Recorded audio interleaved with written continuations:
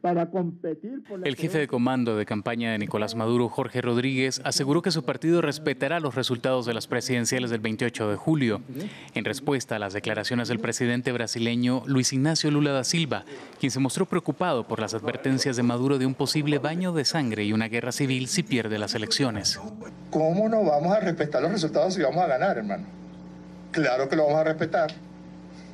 No solamente lo vamos a respetar, Andrés, lo vamos a celebrar en las calles con el pueblo de Venezuela. Te respondería rápidamente. Y le responderíamos a quien tenga esa opinión, que si Maduro va a respetar los resultados, Maduro va a celebrar los resultados junto a su pueblo.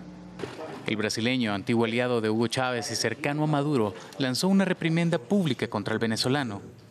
Maduro duas veces, falei por teléfono con. Hablé con Maduro dos veces, hablé por teléfono y Maduro sabe que la única responsabilidad de que Venezuela vuelva a la normalidad es tener un proceso electoral ampliamente respetado. Seja respeitado por todo el mundo. Mientras que Rodríguez acusó a la oposición de planear la destrucción de Venezuela. Estos programas neoliberales son profundamente sádicos. Son profundamente sádicos porque están dirigidos a esquilmar, están dirigidos a robar a los que menos tienen para entregarle esos recursos a los que más tienen. Eso es sadismo puro. Eso es maldad pura y simple. Usted no venga a mirar regodeándose cuando dice, bueno, si no come, que se muera. Maduro gobierna Venezuela desde 2013.